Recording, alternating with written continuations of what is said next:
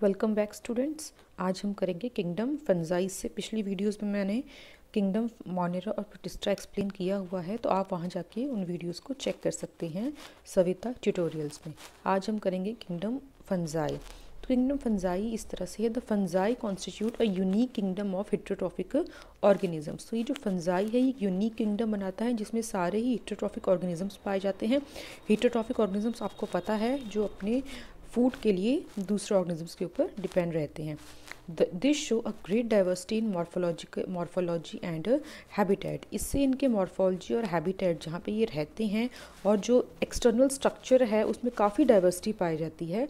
When you when your bread develops a mould जब आपका bread में मोल्ड मतलब ईस्ट डेवलप होता है मोल्ड एक फंजाई की फंजाई का ही पार्ट है।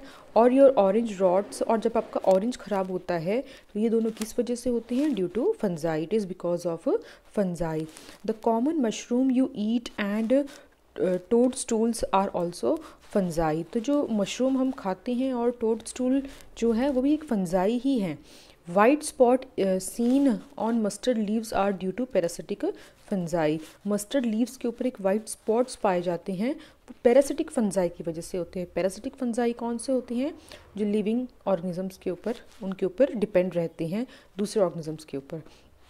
Some unicellular fung fungi for example yeast are use to make bread and beer कुछ यूनिसेलुलर मतलब सिंगल सेल फंजाई होते हैं। फॉर एग्जांपल ईस्ट आपको पता है जिनका यूज़ हम करते हैं घरों में या कंपनीज़ में ब्रेड फैक्ट्रीज़ में ब्रेड एंड बियर बनाने के लिए।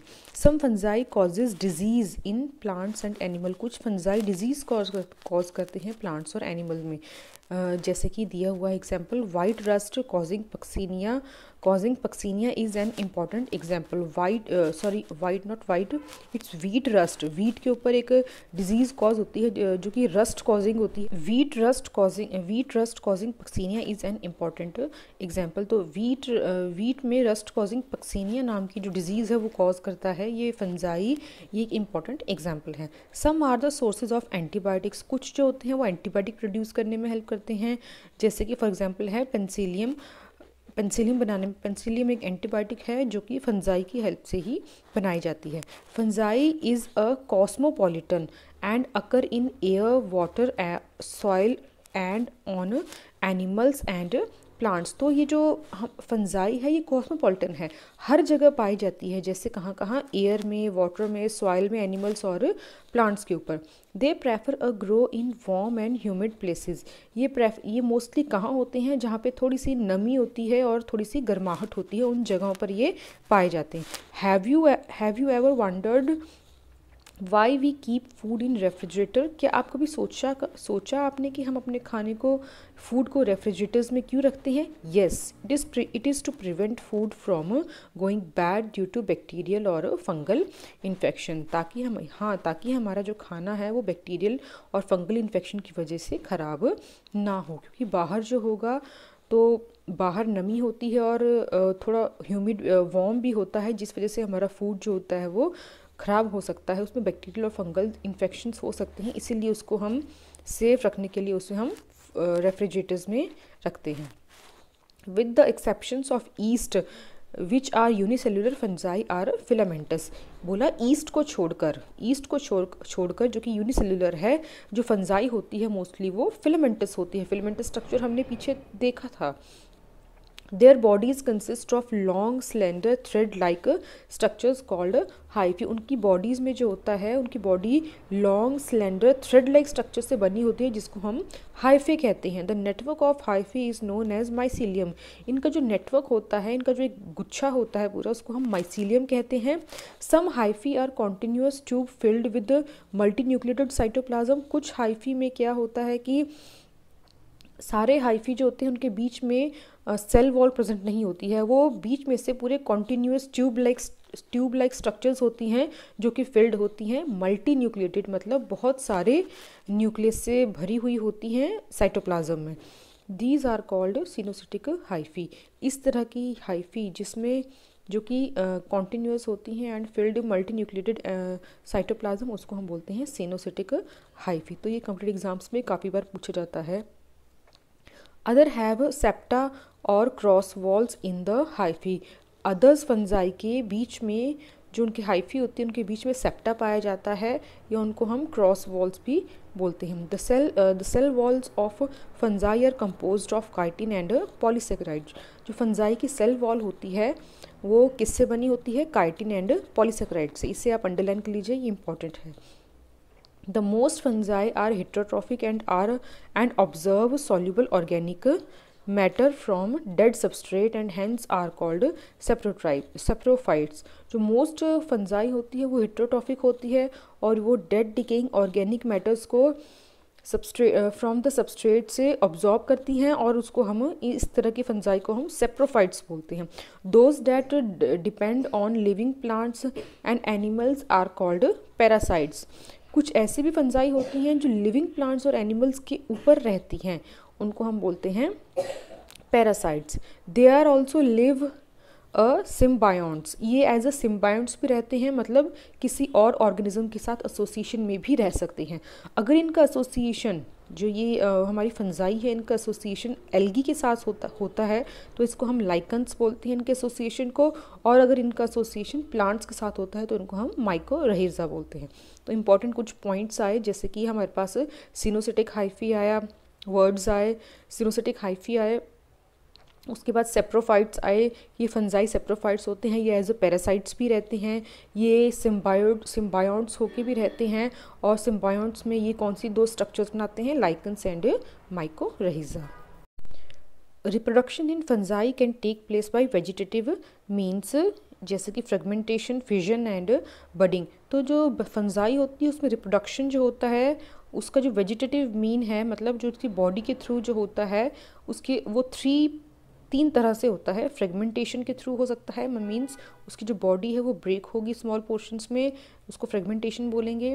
फ्यूजन के थ्रू हो सकता है और बडिंग के थ्रू हो सकता है। फ्यूजन होता है, एक बॉडी दो पार्ट्स में डिवाइड होना और फ्रेगमेंटेशन मैनी पार्ट्स में डिवाइड होना और बडिंग होता है कि जो ऑर्गेनिज्म है उसकी बॉडी के ऊपर ही बर्ड्स डेवलप होते हैं देन वो अपनी बॉडी से ऑर्गेनिज्म की बॉडी से डिटैच होते हैं और न्यू ऑर्गेनिजम्स को डेवलप कर देते हैं। As a new organism develop होते हैं। Asexual reproduction is by spores called conidia तो ए सेक्शुअल रिप्रोडक्शन जो कि स्पोर्स के थ्रू होती है तो उन स्पोर्स को हम कोनीडिया बोलते हैं और स्पोरेंजियो स्पोर्स भी बोलते हैं और जू स्पोर्स भी बोल सकते हैं। इंपॉर्टेंट है ये। और sexual sexual reproduction is by oospores ascospores and basidiospores के थ्रू होती है। The various spores are produced in distinct structures called fruiting bodies जितने भी स्पोर्स हैं, ये एक डिस्टिंक्ट स्ट्रक्चर्स में डेवलप होते हैं, ये डिस्टिंग स्ट्रक्चर्स इनको प्रोड्यूस करती है, जिन्हें हम फ्रूटिंग बॉडीज़ कहते हैं, जो कि फंजाई में डेवलप होते हैं।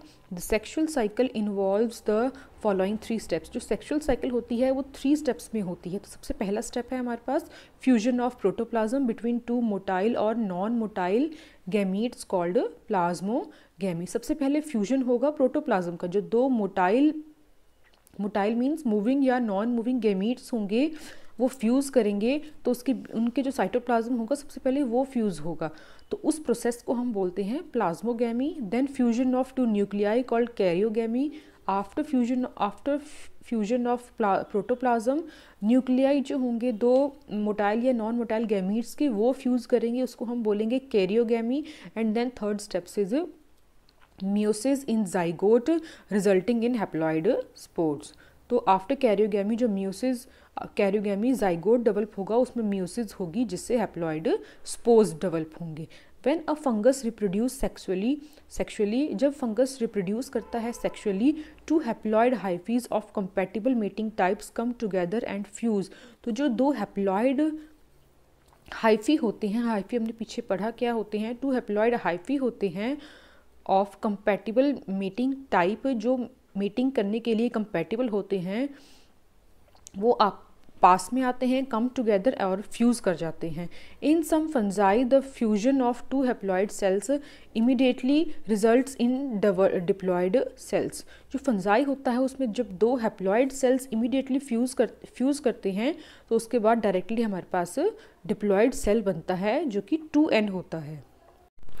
How ever in others fungi जैसे कि एस्कोमाइसिटीज और बेसिडियोमाइसिटीज में an intervening dikaryotic stage develop होती है। बोला कि अदर फंजाई जैसे कि एस्कोमाइसिटीज और बेसिडियोमाइसिटीज में एक इंटर इंटरविनिंग स्टेज डेवलप होती है, जिसको डाइकैरियोटिक स्टेज बोलते हैं। N plus n that is two nuclei per cell में, हर सेल में दो न्यूक्लियाई पाए जाते हैं occur such a condition is called dikaryon तो उस कंडीशन को जब एक सेल में दो हेप्लॉयड न्यूक्लियाई पाए जाते हैं तो उनको हम डाइकैरियन बोलते हैं। And the phase is called dikaryon phase of the fungus later the parental nuclei fuse उसके बाद क्या होता है? जो पेरेंटल न्यूक्लियाई है, वो फ्यूज करते हैं the cell become a diploid यही सेल फिर डिप्लॉयड बन जाता है। The fungi form fruiting bodies in which reduction division occur fungi जो होता है, जो फ्रूटिंग बॉडी बनाता है, उसमें रिडक्शन डिवीज़न होती है। तो आपको पता है रिडक्शन डिवीजन्स में क्या होता है? हेप्लॉयड सेल्स की फॉर्मेशन होती है leadings to the formation of haploid spores जिससे कि हेप्लॉयड स्पोर्ट्स डेवलप होते हैं। The morphology of the mycelium mode of spore formation and fruiting bodies form the basis for division of the kingdom into the various classes तो mycelium की morphology कैसी है? Mode of spore formation कैसा है? Spores कैसे बन रहे हैं? फ्रूटिंग बॉडीज़ कैसे बनी हुई है? इन सब बेसिस पर जो हमारा किंगडम है फंजाई वो वेरियस क्लासेस में डिवाइड है तो वो हम आगे पढ़ेंगे।